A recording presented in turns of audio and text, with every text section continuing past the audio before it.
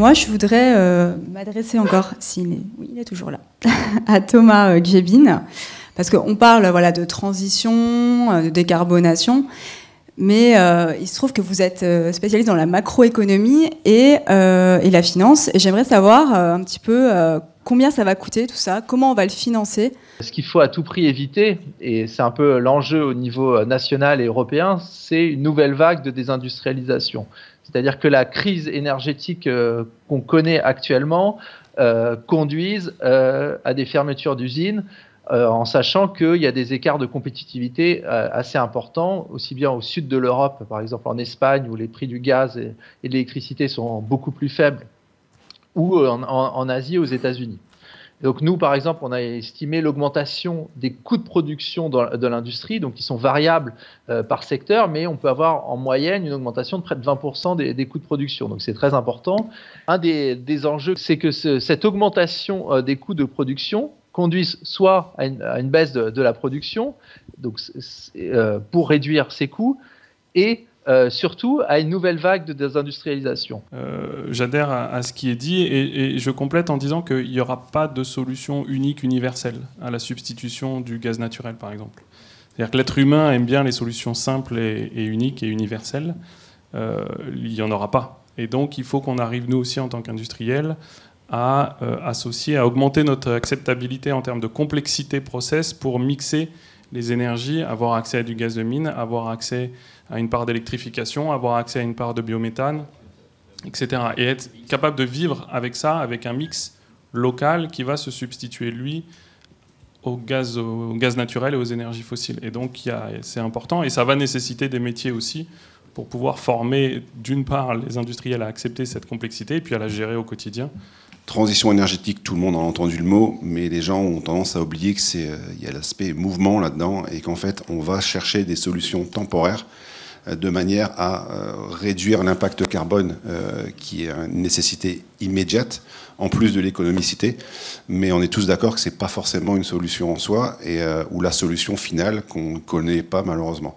Donc en effet, c'est un mix énergétique, c'est un mélange de technologies, c'est une prise en, considération des potentiels des territoires qui vont pouvoir nous, nous, permettre de mener cette transition énergétique qu'il faut en plus verte, parce que c'est pas tout de trouver des énergies si elles ne sont pas vertes, euh, ça va va pas le faire aujourd'hui. Nous avons investi il y a quelques années maintenant euh, dans du solaire, qui nous apporte aujourd'hui 30% de notre énergie électrique.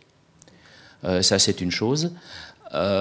et j'attends avec impatience que les discussions qui ont commencé aussi avec la collectivité et, puis Gazonor euh, puissent aboutir et puis qu'on ait de, belles solutions qui puissent euh, s'installer aussi sur euh, la, zone industrielle dans laquelle je me trouve, à, à je pense qu'on a la possibilité de faire quelque chose de, de très très intéressant et puis les industriels sont demandeurs à chacune des échelles, euh, voilà, dans cette idée de mix, il y a le mix de solutions, c'est un, mix qui, nous oblige à, optimiser l'ensemble de la chaîne de valeur. Et effectivement, le prisme du territoire est un prisme intéressant parce qu'il permet de trouver pas mal de solutions. Alors, euh, parfois, il faut aller les chercher ailleurs. Hein. L'énergie de base, elle est fournie euh, dans une, ossature plus large, mais les possibilités locales sont assez innombrables, en fait, quand on s'y intéresse, et ce qu'on essaie de faire, nous, au quotidien, avec, avec des acteurs. Donc le, sujet du gaz, c'est un sujet qui, m'intéresse parce que bon, hein, la crise énergétique étant là, bon, bah, si on peut avoir du gaz moins cher, j'avais plusieurs questions à poser à, monsieur. Donc, quelles sont les industries qui peuvent bénéficier de ce gaz? Est-ce rentable? Quelles sont les réserves? Et est-ce que ce gaz a la même valeur énergétique, la valeur calorifique que le gaz euh, que l'on utilise actuellement? On s'est amusé à, quantifier euh, les émissions de CO2 évitées grâce au captage de ce gaz de mine. Et c'est un, chiffre un petit peu effroyable, hein, puisque ça a été fait par, l'INERIS il, y a trois ans. On est à 1 million de tonnes de CO2 équivalent par an évité grâce au captage du gaz de mine. Donc en plus d'être une énergie verte locale, avec des tarifs euh, qui permettent euh, TVA 5,5, fiscalité d'un gaz vert ou d'un gaz de, déchets, euh, permettent d'avoir, on va dire, une une amplification des, projets de réseau de chaleur ou des, industriels qui, souhaitent en bénéficier. Oui. Euh, est-ce qu'à Calogne, il y en a? Je ne sais pas. Euh, est-ce qu'il devrait y en avoir? Oui. Euh, mais encore une fois, bah, on en est au, tout début de, l'exploration. 9 milliards de mètres cubes de gaz, c'est beaucoup, c'est une grosse quantité. on estime qu'il y en aura beaucoup plus.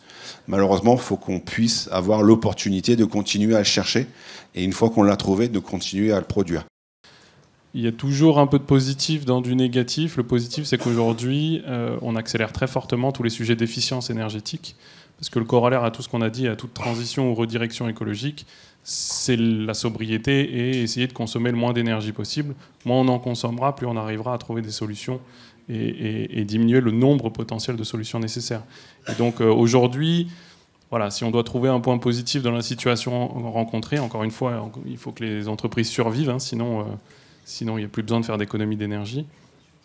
Euh, le on relance très fortement toutes ces questions-là et on trouve des points de rentabilité forcément quand l'énergie est élevée, le coût de l'énergie est élevé, les points de rentabilité sont bien plus faciles à trouver pour des investissements qui autrement passaient de manière un petit peu euh, euh, secondaire dans, dans, nos procédés. Merci beaucoup. Donc nous avons maintenant en ligne Monsieur Yann Vincent, que nous remercions d'être parmi nous. Alors quelques mots sur, euh, sur ACC, euh, qui a été créé en, en, 2000, euh, en 2020, en août 2020, avec une ambition très claire qui est d'être un leader européen de conception, fabrication de cellules pour des batteries automobiles. vous savez qu'aujourd'hui, toute cette production, ou quasiment toute cette production, est asiatique.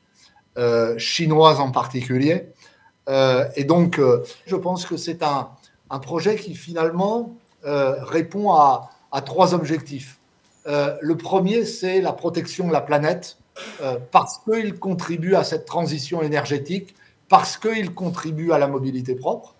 le deuxième objectif de ce projet, c'est contribuer à la réindustrialisation de la, de, de, de la France euh, le troisième objectif de ce projet, c'est acquérir une souveraineté industrielle en Europe qui est absolument indispensable.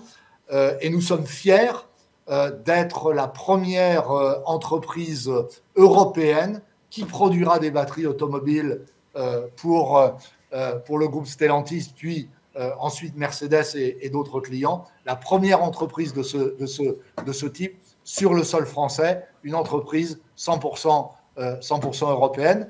Euh, je vous remercie par avance pour votre, pour votre support. Merci à vous pour vos, euh, votre niveau d'exigence. nous sommes des industriels responsables et donc nous, nous souhaitons nous intégrer parfaitement dans le paysage local.